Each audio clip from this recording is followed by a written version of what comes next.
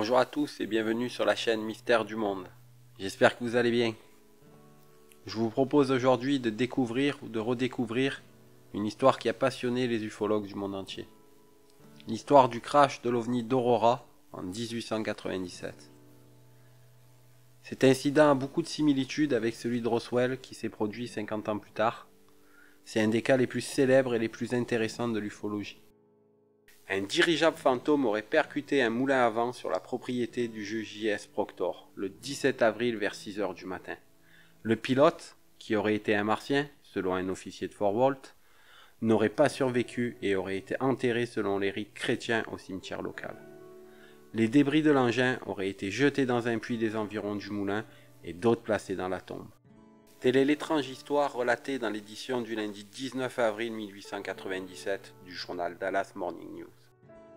Durant toute l'année 1896 et 1897, il y eut dans tous les États-Unis, notamment à Chicago, Tacoma, Sacramento, Astic dans le Nebraska, mais aussi à Springfield et Waterloo dans l'Iowa, une vague d'observation de multiples engins volants inconnus, ressemblant à des dirigeables que l'on appelle alors aéronefs. On en retrouve trace notamment dans les archives de la presse américaine de l'époque. Nous sommes six ans avant que les frères Wright ne fabriquent le premier avion motorisé. Le samedi 17 avril 1897, aux États-Unis, dans le sud-ouest de l'État du Texas, dans une petite ville rurale d'environ 3000 habitants portant le nom d'Aurora. Il est aux alentours de 6 heures du matin. Les habitants d'Aurora, qui sont déjà debout, sont étonnés de l'apparition soudaine d'une sorte de dirigeable se déplaçant étrangement dans le ciel. L'objet, en forme de cigare, ne ressemble pas aux engins qui existaient à l'époque. Selon des témoins, dont S.E. Haydon, qui était un négociant de coton et le responsable local de la presse, il devait peser plusieurs tonnes et était constitué d'un métal inconnu qui ressemblait à un mélange d'aluminium et d'argent. L'engin, se déplaçant du sud au nord de la région, volait tout doucement, de moins en moins haut, aux alentours des 15 km/h et semblait incontrôlable. Il atteignit la propriété du juge Proctor, qui se situait au nord de la ville. Une terrible explosion se fit entendre à plus de 5 km à la ronde, lorsqu'il entra en collision avec une éolienne qui se trouvait à proximité de la maison du juge. Des débris se sont éparpillés sur plusieurs hectares de terrain. Un incendie s'ensuivit qui détruisit une partie de la maison, un réservoir d'eau et le jardin de fleurs du juge Proctor. Une fois l'incendie maîtrisé, en fouillant dans les débris, les habitants découvrirent des pièces métalliques, dont certaines étaient couvertes d'étranges dessins semblables à des hiéroglyphes. L'Associated Press a plus tard raconté qu'un professeur de la North Texas State University a découvert des fragments de métal près de l'emplacement de la ferme du juge Proctor. L'un de ces fragments était selon lui très intrigant car il était principalement constitué de fer, mais n'avait aucune propriété magnétique. Le professeur a également déclaré qu'il était très perplexe parce que le fragment était brillant et malléable au lieu d'être terne et cassant comme du fer. On peut noter que la description des débris ainsi que les matériaux décrits par Haydon et le professeur se rapprochent étrangement de celles qui seront faites en 1947 lors du crash de l'OVNI de Roswell. Vous pouvez d'ailleurs retrouver sur la chaîne une vidéo qui raconte l'histoire de ce crash. Il fut aussi découvert au milieu des morceaux de l'appareil le corps du pilote du véhicule. Haydon le décrira de forme humanoïde, de petite taille, brûlé, démembré et gravement mutilé. Des témoins ont déclaré qu'il ne devait pas être humain.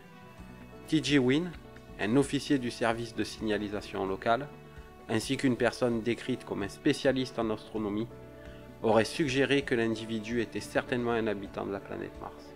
Mary Evans, une habitante d'Aurora, affirme se rappeler du crash.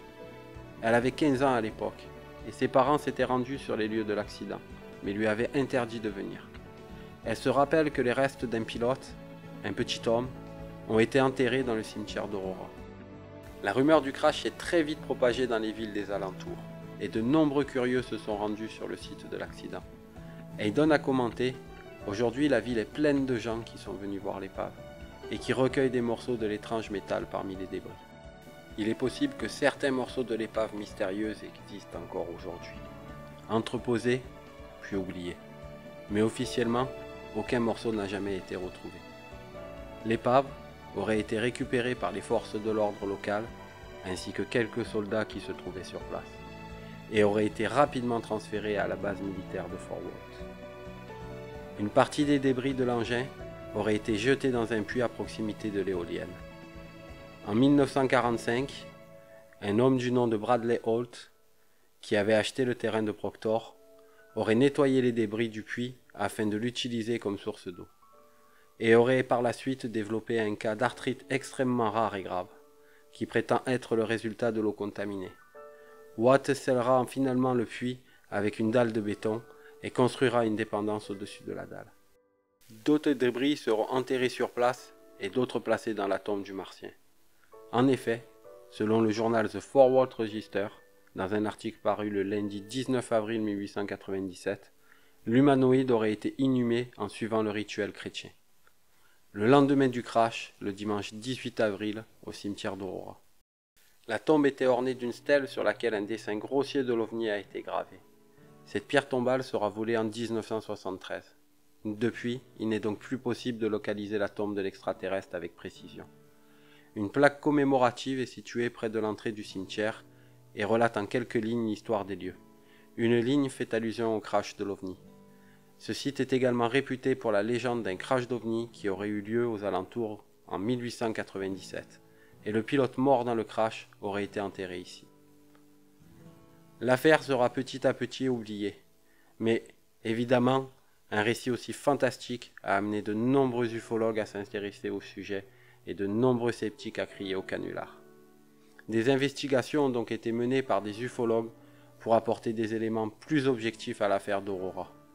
L'un d'eux, l'auteur et ufologue Jim Mars, a commencé à s'intéresser à l'histoire d'Aurora en 1973. Il y était avant la disparition de la pierre tombale. C'est probablement l'une des rares personnes qui se souvient encore de l'emplacement exact de la tombe. Il décrit la tombe comme étant assez petite, comme celle d'un enfant ou d'une très petite personne il y avait une toute petite stèle qui se dressait sur le sol. Il rencontra sur le site, au printemps 73, Bill Case, qui était le rédacteur aéronautique du Dallas Time Herald. Et équipé d'un détecteur de métaux, ils ont découvert la présence d'objets en métal dans la tombe. Au bout de trois mois de fouilles et d'enquêtes dans le secteur, Bill et Jim finirent persuadés, autant que l'on peut l'être, qu'il y avait bien eu le crash d'un ovni par le passé et que la tombe renfermait le corps d'un extraterrestre. Ils firent donc une demande auprès des autorités locales afin d'exhumer le corps, mais ils se heurtèrent à l'hostilité de la mairie, de la police et des habitants de la ville. Agacés par la trop grande publicité, ils se virent refuser l'ouverture de la tombe mystérieuse. Quelques mois après cet événement, la pierre tombale sera volée. En fin d'année 73, Bill et Jim retournèrent au cimetière, mais cette fois-ci, leur détecteur de métaux est resté muet. Comme si la tombe avait été vidée de tout métal. De plus, un tuyau de 3 pouces de diamètre avait été placé dans le sol, à l'emplacement de la pierre tombale manquante. En se renseignant un peu, ils apprirent que quelque temps après leur demande d'exhumation de la tombe, il y avait eu une intervention de l'armée américaine dans la ville. Personne n'a pu leur dire ce que les militaires étaient venus faire. Il y a quelques années, pour les besoins d'un documentaire sur le sujet, pour la chaîne History, des scientifiques dotés d'un radar pénétrant le sol ont affirmé qu'il y avait vraiment eu une petite tombe à cet endroit. Ils analysèrent aussi le puits aux débris et enquêtèrent dans le coin pour en conclure que cette histoire était probablement vraie. Quant aux partisans de la thèse du canular, ils précisent que dans les années 1890, le village d'Aurora aurait perdu un nombre important de ses habitants, suite à une épidémie de fièvre jaune, et que la rumeur d'un crash d'OVNI allait lui permettre à la fois d'attirer de nouveaux habitants et de lui faire bénéficier du nouveau tracé de la ligne de chemin de fer en cours de construction. Que le crash ait eu lieu ou non, il est permis de se demander si la Terre n'aurait pas été visitée par des extraterrestres en ce mois d'avril 1897.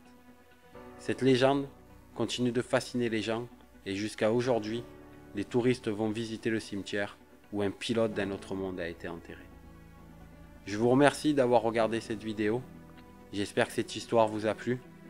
N'hésitez pas à vous abonner et à activer la cloche de notification pour vous tenir informé sur les futures vidéos que nous allons sortir sur la chaîne.